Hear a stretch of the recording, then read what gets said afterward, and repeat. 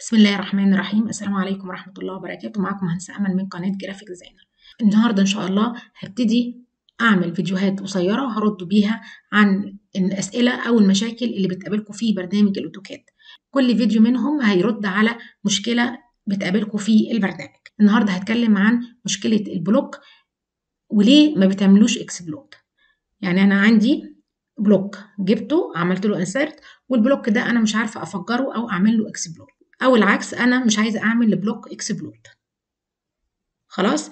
هنعرف إزاي ده مع بعض قبل ما نبتدي في دروس للأوتوكاد. كاملة 2D و 3D في القناة. لو عايزين تطلعوا عليها بتدوسوا على اسم القناة. من أسفل الفيديو بيدخلكم على القناة وفيها قوائم التشغيل اللي فيها دروس الأوتوكاد. ولو عايزين أي درس من دروس الأوتوكاد أو عايزين تسألوا على حاجة في الأوتوكاد حطوها في التعليقات وأنا هرد عليها بإذن الله.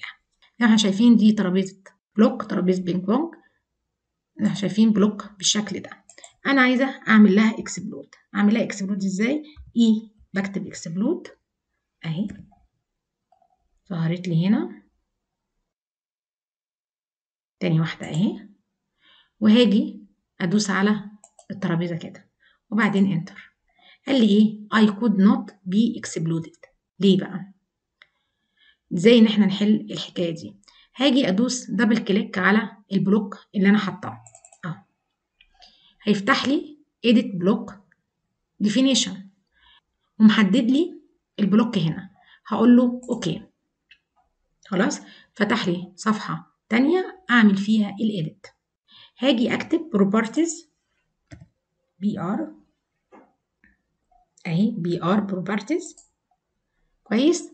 وهاجي عندي أنزل هنا تحت في حاجة اسمها allow exploding. شايفين? allow exploding اللي موجودة عندي هنا تحت. مكتوب جنبها إيه؟ مكتوب جنبها إيه؟ no. يعني هي مش شغالة. هاجي كده والسهم اللي تحت كده وأقول له yes. كده خلاص ممكن إن أنا أعمل explode. كويس؟ واجي أقفل ال properties بالطريقة دي. واجي أقول له close block editor. وهنا بيقول له save the change to بينج بونج اللي هو ده اسم ال file ال block هقول له آه save كويس؟ الحالة دي بقى هاجي أقول له explode explode أهو. وأقول له enter وأختار ال block بتاعي وبعدين enter كده خلاص اتعمل لي explode دي. زي ما إحنا شايفين كده. يبقى أنا كده حليت مشكلة ال block في برنامج الأوتوكاد إن أنا ممكن أعمل له explode وإن أنا ممكن أوقف ال explode بنفس الطريقة اللي أنا عملتها. بختار في الحالة دي no بدل yes. بكده أنا خلصت الفيديو النهارده. يا رب تستفيدوا منه. إذا استفدتوا منه ما تنسوش like و share و subscribe من أسفل الفيديو وتفعيل الجرس عشان يوصلكم كل جديد وده بيدعمني في اليوتيوب. انتظروني في الدروس القادمة. أستودعكم الله عز وجل.